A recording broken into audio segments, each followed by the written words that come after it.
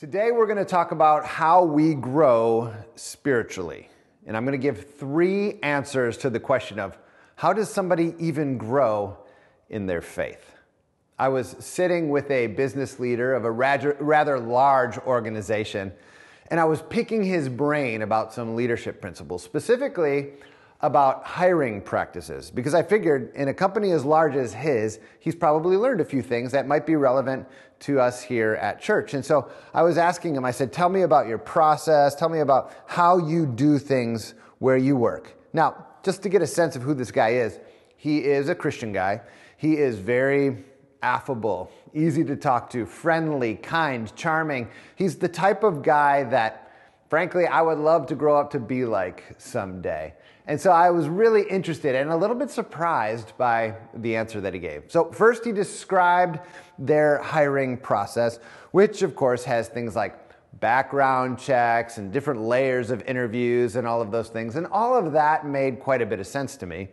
But I asked him, I said, okay, tell me about like how you know for sure. Like, do you just assume that whatever recommendation is made, that person is the best person for the job. He said, Well, there's actually one more part of the process that's a little bit different. That if I'm hiring somebody who's fairly high level, meaning I might work closely with them, he said, My wife and I will take the person who's interviewing and their significant other out to dinner, and we'll go to like a nice restaurant or something. And he said, I won't even talk to them about the job specifically. But what I'll do is I'll watch how they interact with their spouse. I'll watch how they interact with the server. I'll watch how they just sort of handle themselves at the table, and then I'll be able to tell something about whether or not this person will be a good fit. And I said, okay, like, really? Like, have there been times where somebody has done well in interviews, passed all the background checks, and still something happened at dinner where you said no? And he said, oh, absolutely. He said, there was this one time where we had this person who had just killed it at all the interviews. You know, they were incredibly gifted. They had sparkling references and recommendations. They did great. And everybody was saying, hire this guy. But we went out to dinner with him and his wife. And he said, throughout the course of the dinner, this guy repeatedly would eat with his mouth open and then talk with his mouth full. And he said, I immediately knew, nope, this guy does not have the cultural awareness or the table manners to be part of my organization. Now, I was a little bit taken aback by that, that this guy would have lost a job over something that small. And so I sort of pressed him for a few more details. And he said, You know what? You can put a lot of a kind of a show into interviews. But when you get to that point where you're not thinking about things as much anymore, you start to notice a person's habits. And you start to notice a little bit about how keyed in and how grown up in some senses they are. Now, that might seem a little bit strange to you, but I want to take you to another table. Now, this man who I was talking to is also a grandfather. And I, my guess is that when he's having dinner, I didn't ask him this question, but when he's having dinner with the grandkids, if little Tommy or Susie knocks their food on the floor or, or talks with their mouth full or something, my guess is he's not going, Well, sorry, kid, you don't have what it takes to be in this family. My guess is that his expectations of a child are very, very different than his expectations of somebody who's supposed to be a grown up because a child needs to learn certain habits over time as they mature. Acceptable behavior in a toddler is not acceptable in an adult. We expect people to grow up, to develop practices, manners, habits, if you will, as they get older. We are in week two of our Habits of Grace sermon series, where we are examining, among other things, where we've really placed our hope. And we're looking at these little tiny things in our lives that can make a huge difference. We mentioned last week that Duke University uh, published a paper that said that 40% of our daily lives are made up of these little habits, these things that we might not even be thinking about very clearly, but take up a big chunk of our time. And so, if you were listening last week, you may have noticed that we talked a lot more about the grace part than the habits part. And that was by design.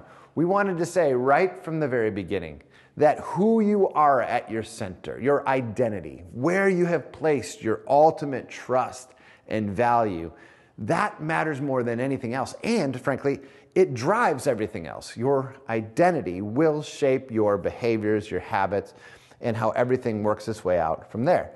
Well, today, we want to talk a little bit more about this growing up in these, these habits. We said last week that one of the anchor habits, if you will, of the Christian life is gathering together in person at church. And we talked about this online service and we said, hey, it's great for some things, but it's not great for developing habits around getting together with people physically in a building and just how important that that is.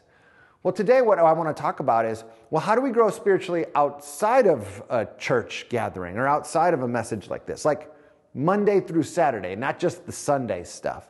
Like, how does someone grow then? What sort of habits should they really have? Now, I know when I say that, that we're not all necessarily at the exact same place spiritually, but I want to give us a thought experiment.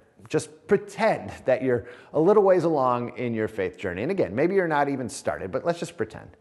And somebody comes to you who just became a Christian, like they just had that moment of going, oh my goodness, my old life was a dead end.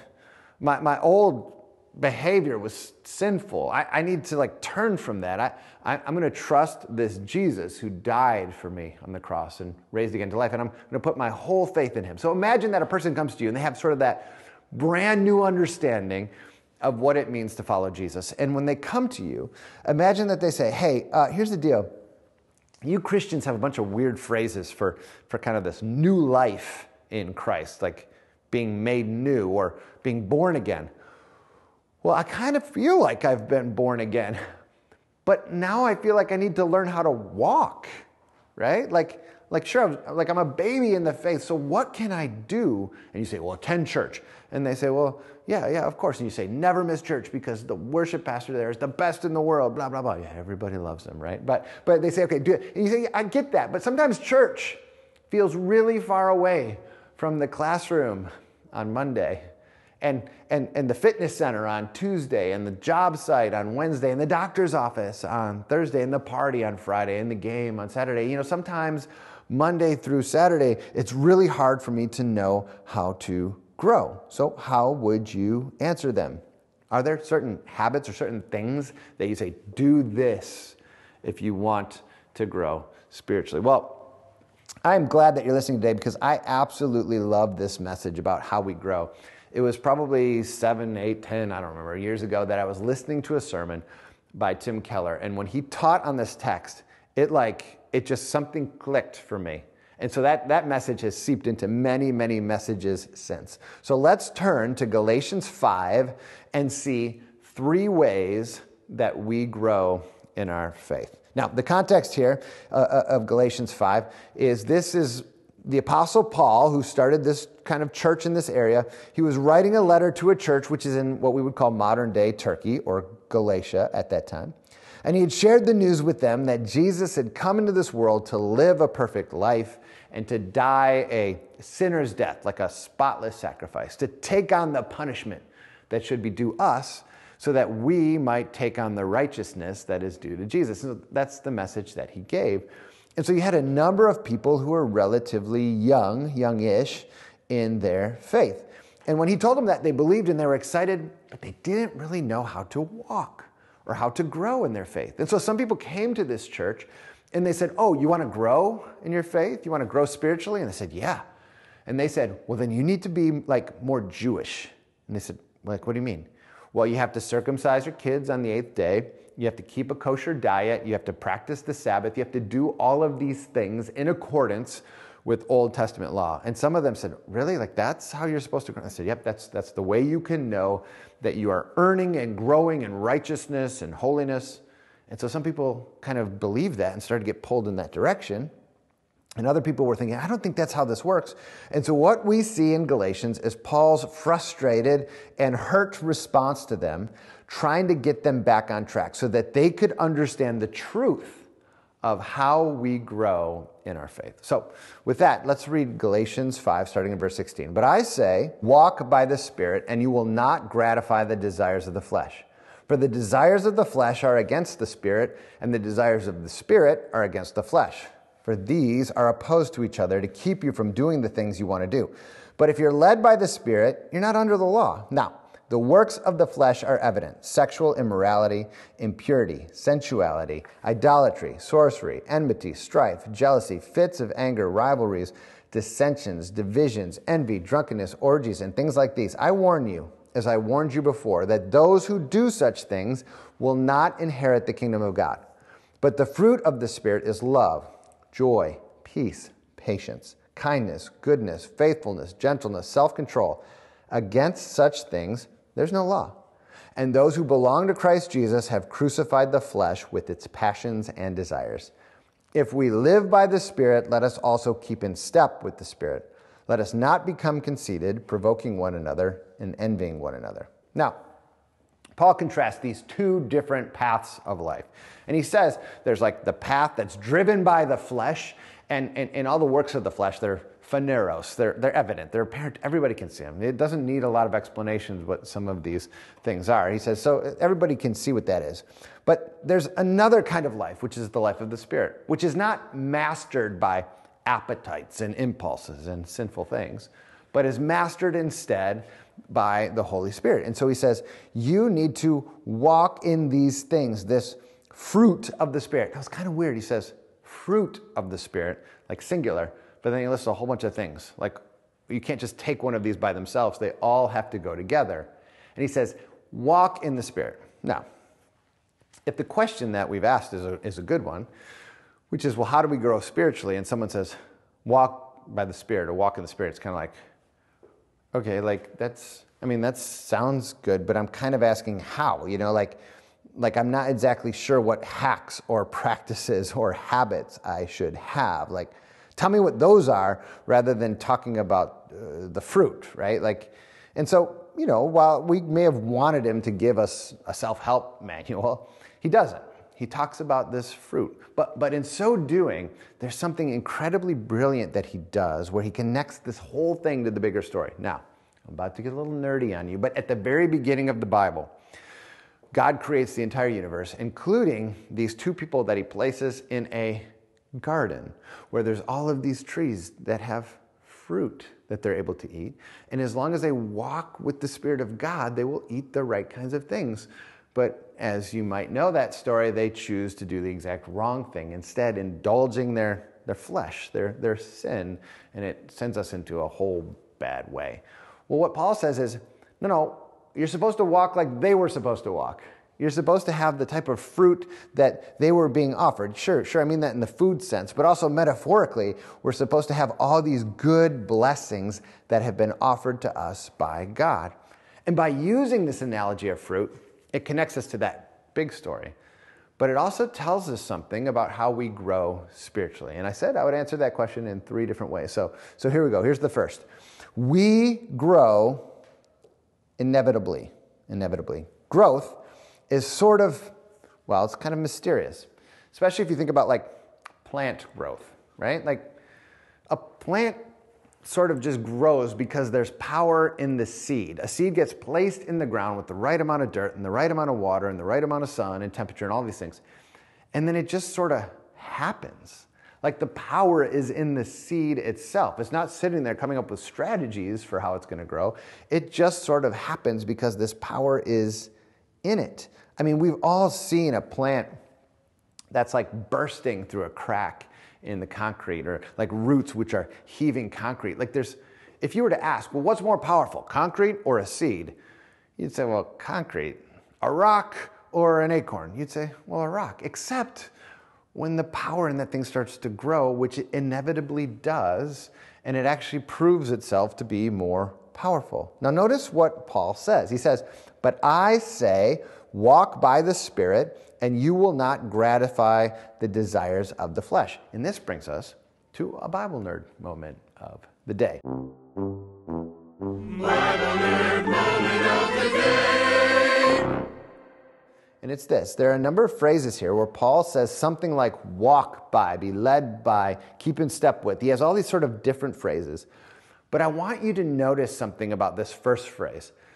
Because when we read it walk by, it sort of puts the action on us. Oh, this is a thing I'm supposed to do. But if we were to translate this literally, including the, the order of these words, what it would actually say is, by the Spirit, y'all walk. And the desires of the flesh, no, y'all should not gratify. So, by the Spirit. In some ways, what he's saying is the power of God and the Spirit is bigger than a seed. And if you genuinely have come to understand who this Jesus is and have asked and turned to him in forgiveness, well, then that is the Holy Spirit who has powerfully done that work in you. And when He has done that work in you, He is going to grow something in you and empower you. And He is going to lead you and shape you and convict you and enlighten you. In some senses, spiritual growth, if you've genuinely become a child of God, is inevitable. It is going to happen by the power of the Spirit. Even the phrase led by the Spirit in verse 18 says, I mean, hey, you're led by the Spirit, right? That the verb there, and this is John Stott, who's a famous pastor, scholar, author. He died about 10 years ago. But, but he said this the verb is used of a farmer herding cattle, of a shepherd leading sheep, of soldiers escorting a prisoner to court or prison, of the wind driving a ship. There's a metaphorical use to it, but he goes a little bit further. He says, As our leader, the Holy Spirit takes the initiative. He asserts his desires against those of the flesh and forms within us holy and heavenly desires. He puts this gentle pressure upon us, and we must yield to his direction and control. How do I grow spiritually? Well, in some ways, inevitably. If you've genuinely come to a place of placing your faith in Christ, the Holy Spirit is going to grow in you your, your, your faith. It's just going to happen. Now, most mornings, I don't eat breakfast. I know it's the most important meal of the day. No, it's not. That is just marketing ploy by Big Cereal. But, you know, some people are really into breakfast, whatever. I'm more of a water and black coffee kind of guy. So let's say that I come down into my kitchen and my children are there and they're eating cereal or eggs or whatever. If I see that, and even to some degree smell it, I don't know if I smell cereal, but I, I don't care. Like, it doesn't make me want to eat. Nothing changes about me to, to want to grab some food. It's just not my routine. I do something else. But if I walk downstairs and into my kitchen and I smell bacon, or I smell that heavenly sweet donut smell, well, then I don't have to consciously think about growing hungry. All of a sudden, I just, my stomach starts to growl and I'm hungry and I find myself, now I'm now I'm eating breakfast. Now, maybe there's a bad illustration because donuts and bacon sound more like the works of the flesh than the works of the Spirit. But, but, in some ways, this is how the Holy Spirit works. He stirs us and He grows a hunger in us for Jesus. There's just something, as, as we're just living our lives, He produces this desire to move and to change and to be shaped and to be captured by who Jesus is, period. Inevitably, you grow spiritually if you have genuinely come to faith in Christ. How do you grow? By the Spirit's power, inevitably. But there's more. That's only the first way that we grow spiritually. The second how we grow is we grow gradually. We grow gradually. Now, look at this list that Paul gives us here. These are some incredible fruit that ought to be displayed in our lives. So, agape, which is love, which is self sacrificial love, uh, chara, which is joy, deeply rooted satisfaction and delight in God, eirene, which is peace, which is a rest in God's wisdom and plan more than in our own, uh, makrothumia, which is forbearance, or in other words, putting up with other people, uh, Christotes, which is kindness, which is showing others mercy, agathusone, which is goodness, which is internal consistency and transparency, apistis, which is faithfulness or reliability and loyalty, prautes, which is gentleness, which is self forgetfulness, and egkratia, which is self control or choosing the important over the urgent. All of these things, which we look at that list and go, yeah, I mean, I need to be exhibiting those kind of things. All of those things are grown inevitably through the power of the Holy Spirit, but also gradually. Those things take time.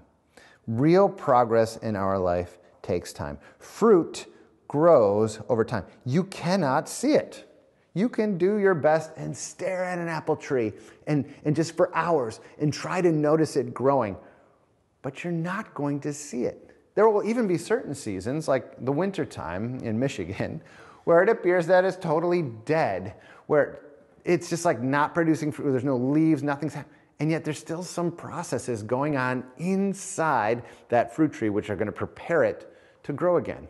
And if you were to go during the growing season and it's warm and all of these things are happening, if you stare at it, you won't see it. But if you walk away for a couple months and then you come back, you go, oh my goodness, this has changed so much. But you only see it happening over time. We love those stories of God changing lives in dramatic, big fashions. And some of us have had those moments where God grew us up a whole bunch in a very short amount of time. You know, we, we heard just the perfect sermon or went to a youth retreat or a mission trip or, or whatever. And all of a sudden it's just like, yes, I feel like I took a huge jump forward in my faith. But also, some of us have experienced times where it feels like nothing is happening, where we are in a, a winter season of sorts. Some of you are in that season right now. You want answers from God that, frankly, you just haven't been getting. You, have looked to God's people, and some of them are flaking out. That desire to just experience some holy peace in your life is completely lacking. And some of you are thinking, oh, maybe, maybe I'm not growing. And you have to recognize that spiritual growth takes time. Have you read the Psalms? I mean, many of them are a person going, oh, where are you, God? I don't feel like anything's happening. And yet, God was doing a mighty work on, in, and through them. For you, if you're in one of those seasons, listen, it might be winter in your spirit. So maybe you need someone else to just say, in Christ, you are, in fact, growing in your faith. I mean, the mere fact that you're listening to this right now suggests that Jesus is doing a work in you. I mean, think about the 12 year old who cannot wait to grow up. But every day when they look at themselves in the mirror, they think, ah, oh, I'm not getting any older, I'm not any taller, rather. I, like nothing's really changing. And then when they get a, an occasional blemish, like acne or something to show up, that's all they can see. And they don't see the fact that they're actually growing. And then grandma shows up after not seeing them for a couple months. And they walk up and she hugs them and she says, Oh my goodness, look how you've grown. I can't even believe it. Believe it because that's how growth works. Sometimes you cannot see it up close in the mirror, but over time, dramatically good, big, powerful changes can take place. So, just let me give you two nudges before we move to our point three. These are just two quick nudges. The first is this if it's true that spiritual growth takes time and it's gradual, then we must be patient with ourselves and with our loved ones. Assuming that we're, we're doing the right kinds of things, we'll talk about that in a moment, but assuming that's the case, and it's just not feeling like it, be patient with yourself. Be patient with your three year old. They're not 13 or 33 or 63 yet. Just there is just it takes time for some of this to happen. So that's the first nudge is just be patient. The second nudge is this. Our our church is a relatively young church age wise uh, for the like average person. So this is an encouragement specific, specifically to those of you that are like 50 and above, right? That's not old. It just if you happen to be 50 and above, if that's you, I want you to know that we need you, like grandma in that story, to speak truth to our younger people. To, to speak that you're seeing growth in them because we have many students, young couples, families here that might be in such a grind of life that they cannot see their way out of the next fever for their little kid or the next stuffy nose. They cannot imagine a day when they would have enough money to be able to like retire or go to a restaurant for dinner. Like they're just in that season. And so, one of the powerful things that you can do if you are in more of that season past those younger ages is to look at somebody and say, oh my goodness, look, look how you've grown. That is such a powerful thing when somebody ahead of us in life comes and speaks that over us because growth is gradual. So, how do we grow spiritually? Well, inevitably and gradually, but you might be thinking, wait a second, I thought this sermon series was called Habits of Grace. And so far, he's telling me these nice principles, but nothing that's like tangible for my growth from Monday through Saturday. Well, I beg to differ, but that's okay, because number three, growth, how we grow, is also intentionally. Intentionally. It is ultimately the work of the Holy Spirit to grow us over time. However, that doesn't mean that we just sit back and do nothing. If you look at the life of Jesus, we regularly see him pulling back and retreating, so to speak, into a quiet place where he can pray, where he can meditate, where he can think on God's word. We regularly see him doing those sorts of things. And even here, if you look at this text, you'll notice that while Paul said, be led by the Spirit, by the Spirit we walk, kind of thing, towards the end of this text, in verse 25, he says this If we live by the Spirit, let us also keep in step with the Spirit. Now, this is a different kind of walk verb than what we saw before. Before it was sort of a, just like a general living where the Spirit is empowering it. But here the word is more about walking a certain line, like keeping on the path that is set before you. This gets used in some different places, but it's like you need to fall in line. You need to craft habits and practices that puts you in step with the Holy Spirit. Well, then, what could we do? What is something beyond church attendance on a Sunday that we could do to develop a habit from the Monday through Saturday part that would really keep us in step with the Spirit? And the habit for the day is engage God's Word daily. George Mueller, 1800s, pastor, educator, director of an orphanage, said, The vigor of our spiritual life will be in exact proportion to the place held by the Bible in our life and thoughts. The vigor, let me say that again, the vigor of our spiritual life will be in exact proportion to the place held by the Bible in our life and our thoughts. We must daily engage God's word. Now, if you are someone who has been a Jesus follower for a while, listened to a number of sermons, my guess is you've heard that before. Somewhere along the way, you've been encouraged to read your Bible, pray every day, and some of you have absolutely made that a habit. And my guess is if we were to talk to you about it, you would say it's been the most important habit that I've ever developed in my life to daily pause and get in God's Word. My guess is some of you are tracking with that. My guess is also that some of us definitely are not. That although we know that it is, in fact, the best, right sort of daily habit that we should have, that for whatever reason we have tried it, maybe we've failed, and now we feel guilty about it, and uh, it's become this whole big, big struggle for us to actually daily engage God's Word. So, for just a few moments, I want to give us some very practical, I hope, tips on how to begin this new habit. Now, there's a handy little book written by one of my seminary profs called Eight Habits for Growth. The professor's name, the author's name is Darryl Dash which sounds absolutely like a superhero's name, but nevertheless, uh, he writes this book and he gives some very sort of doable small steps that we can take to start crafting our habits to become more and more like Christ. So here's just a few things that I'm sort of stealing some of his stuff and adding my own to help us engage God's word daily. The first thing is this make a sensible plan. Make a sensible plan. Like, are you going to listen to God's word daily or are you going to read it? Are you going to listen on certain days and read it on other days?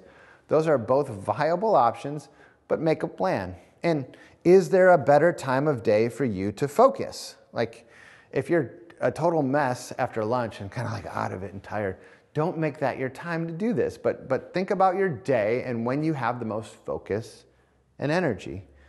Think about what place, where will be your place? What place in your house, your apartment, uh, in your bedroom will you sit when you engage God's Word? And then think about how much you want to try to read as part of your plan. If you look at this little chart here, if you want to read the entire Old Testament in a mere 40 days, it will take an hour and 39 minutes, which might seem pretty daunting. In fact, if you have no habit of daily Bible reading, that seems incredibly daunting.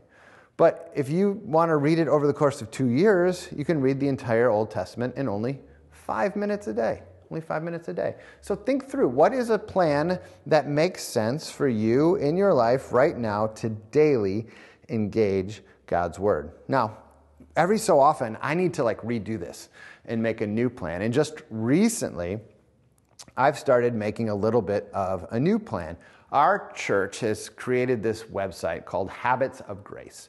And there is a Bible reading plan on that webpage that reads through the entire Bible in, I think it's two years. And this reading plan comes from the Common Book of Prayer. Also on that webpage, not only is there a reading plan, but there are some different prayers that can be read to kind of prompt your own prayers. And so my habits or my new plan has been to read along with the Habits of Grace uh, webpage that we have. And it's the first thing in the morning, it's to wake up, let the dog out, and then go in my basement and sit on the floor, stretch a little bit, you know, get my leg out there, make sure it still works, you know. And then to open up my Bible to this Habits of Grace page to look at it and say, okay, where exactly am I supposed to be reading today? And then it's to allow my eyes and my mind to focus the very first thing in the day on God's Word rather than a social media influencer or news items or my schedule for the day or sports or whatever. Before I let my mind go to anything else and turn on a TV and start surfing my phone, I want my first eyes and mind of the day to see God's word. And so that's been part of my new plan. So make a sensible plan for you. And if this webpage, Habits of Grace, helps, awesome, do it. I know Brantley is using that. Ryan's using that, I'm using that, and hopefully others of us will use that and we'll keep refining it and make it very, very helpful for us. But make a plan.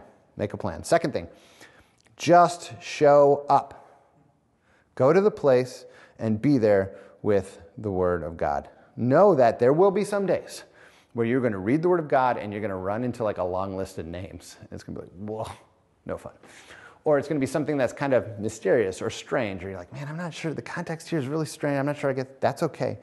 Just show up. It's like going to the gym on a day when you don't have much energy, but you're like, I might as well go anyway. And you might not do the full workout plan, but listen, a workout is better than no workout. So just show up with God's word. Make a sensible plan and then show up. Third, map out your tomorrow. So you got this plan, you're going to do it, you're just going to show up, you're going to do it.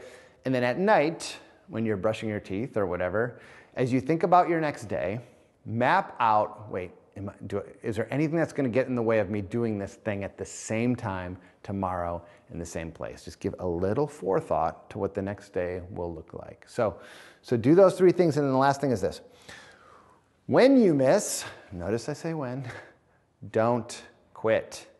When you miss, don't quit. Here, here's, what, here's what happens to me when I get on some of these reading plans. I will go, okay, I'm going to read the whole Bible in a year, or I'm going to do this thing with the Bible Project, or whatever. And then what happens is I miss a day. So then the next day I'm like, oh, I got to read two days worth because I can't get off track. And then I miss like four days.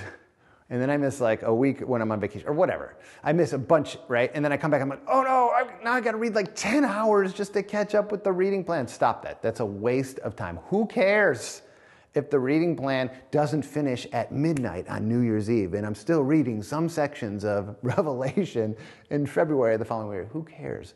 Just when you miss, don't quit. Just keep showing up. It's not like you could go to the gym right now and make up for seven years of inactivity in one day. Just show up and do it. And when you miss, don't quit. For the fruit of the Spirit to grow in our lives, we must regularly, daily make a habit of engaging the Word of God. It is like eating, where if we don't do this, we should notice it and feel like we're in a, almost a weakened state. This habit, perhaps more than any other, will be a basis for how the Holy Spirit grows us. It's the primary word, or primary way, rather, that the Holy Spirit weeds some of the stuff in our life and then waters the new growth that He has. There's other ways He can do that, but this is the primary way. Outside of attending church on a Sunday, this would be the habit that's like, yes, you, we have to do this if we want to grow intentionally. Not just, not, not, not, not just gradually, right? Not just inevitably, but if we want to also grow intentionally.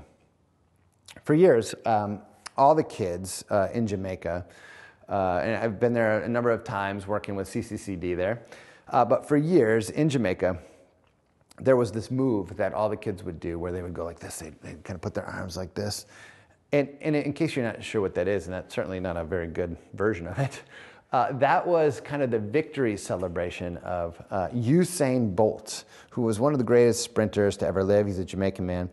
And uh, for a number of years, he was known as the fastest man on earth. Now, I have driven past uh, the, the area where Usain Bolt grew up, and the very first track or training grounds, like his, his uh, school, primary school, uh, where he went to school growing up. And as you look at it, there's truly nothing remarkable about that setting uh, other than the fact that that's where Usain Bolt grew up. But I want you to imagine for a moment an eight year old Usain Bolt, uh, maybe not even wearing shoes, just outside playing with his friends, and they decide that they're going to race each other.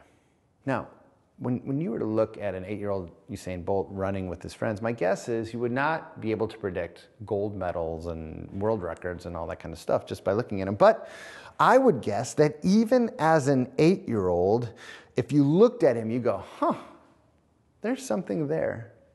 Like his his his build, you know, like like uh, uh kind of his stride, his his joy in running, his explosion off the line. My guess is you would see that there were some gifts that he had that he didn't produce. You know, just part of his makeup, the way God gifted him in his genetics. You would see, oh man, there's something there. But but even still, it would still take a long time for him to move from just this person who inevitably was going to grow and get faster to being a better sprinter. And it would take tons of intention, a lot of work and practice to grow up to be this gold medalist and this icon of sports. How do you grow? Well, in the same way he did, in some ways. Inevitably, in some senses, the Holy Spirit's the one doing the work. He's planted the seed of the gospel in us. Gradually, it's going to take time and, well, intentionally. It also takes work. So let's dive into these habits of grace this week.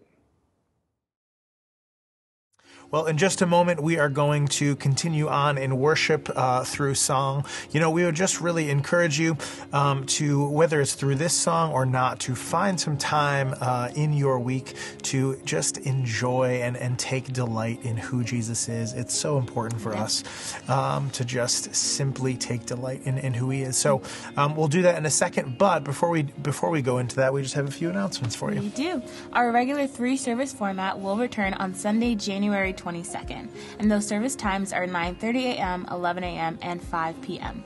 Also, there are so many things going on at GBC right now, and we simply cannot list them all. So, the details on everything happening can be found in The Loop, which is our e-newsletter, and it's the best way to stay up to date. You can subscribe at gracea2.org/loop. And then finally, here at Grace Bible Church, we believe that giving is an act of worship. You may give online at gracea2.org slash give or by mailing your offering to our 1300 South Maple Road address. Let me pray for us as we continue in worship. Jesus, we uh, we thank you for your word. Um, we we know that you have promised us that your word does not return void, and so, um, God, I, I, I pray that um, that it impacts us um, deeply, um, and that we are able to live it out. Um, God, let us worship you in, in spirit and truth uh, now in these moments together. It's in your name we pray. Amen. Amen.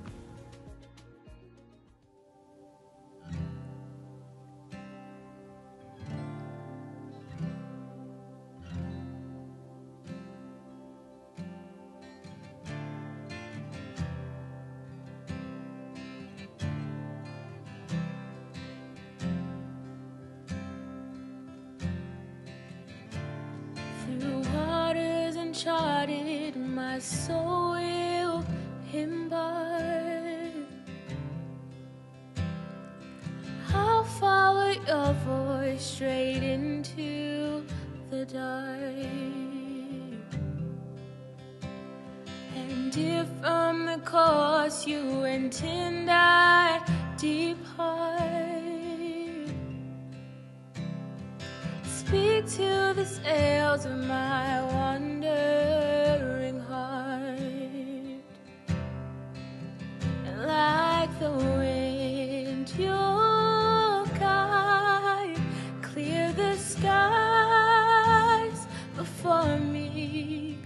and our cloud.